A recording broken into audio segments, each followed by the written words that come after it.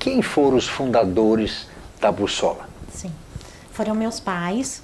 E tudo começou, meu pai tinha 23 anos, né?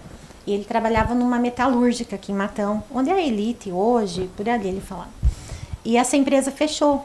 E o acerto dessa para os funcionários foi dado em peça, faca de cozinha, só que semi-acabada.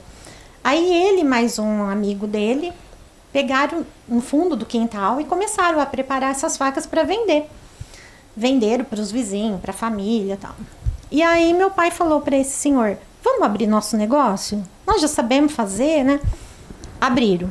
Mas assim, tudo é, em casa, né? Sem empresa. Uma coisa caseira. É, tá. foram trabalhando acho que dois anos, né? Produzindo e, e, comercializando. Só que aí esse senhor, que era o sócio dele, não quis continuar. Acho que sentiu medo, porque o negócio começou a crescer. Aí ele falou, olha, eu vou voltar a trabalhar em metalúrgica, não, não vou querer continuar aqui. Quero ser pai... funcionário, não quero gerenciar nada. Exatamente. Aí meu pai falou, não, eu vou continuar. Aí nessa época minha mãe lavava roupa para fora, tinha meu irmão especial, a minha irmã, e ajudando ele. Aí em 63, em outubro de 63, de fato ele abriu a empresa, consolidou, né? Que é ali na perto da rodoviária, onde nós começamos. Era a casa na frente, a fábrica do lado, assim, que ia até lá no fundo. Então nós ficamos ali, Cacá, até os anos 2000, depois que nós mudamos onde nós estamos hoje lá no Paraíso. E ele começou fabricando faca para cozinha, facão para pesca. Depois, nos anos 70, o facão para corte de cana manual. E aí começou a atender as usinas da região, porque era tudo colheita manual naquele, naqueles anos, né? Na época, é. é. Aí, depois, em 85, 87, as usinas começaram a ter a colheita mecanizada.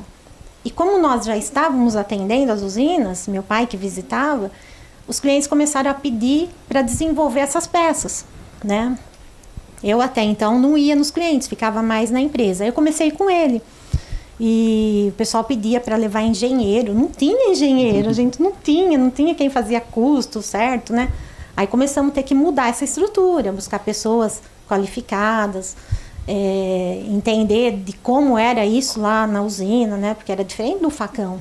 Era uma era, máquina. Da, tecnologia manual, eu tive que passar para mecânica e entender como é que a máquina fazia. Como a máquina tá. funcionava, o risco de uma peça daquela quebrar e pegar um operador. né? Então a gente começou a ir a campo para ver tudo isso e começar a desenvolver.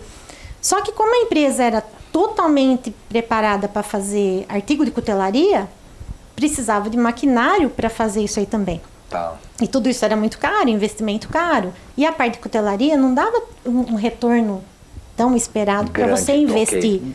Fora que tinha uma empresa muito grande, né, a Tramontina, que comercializava tudo de faca.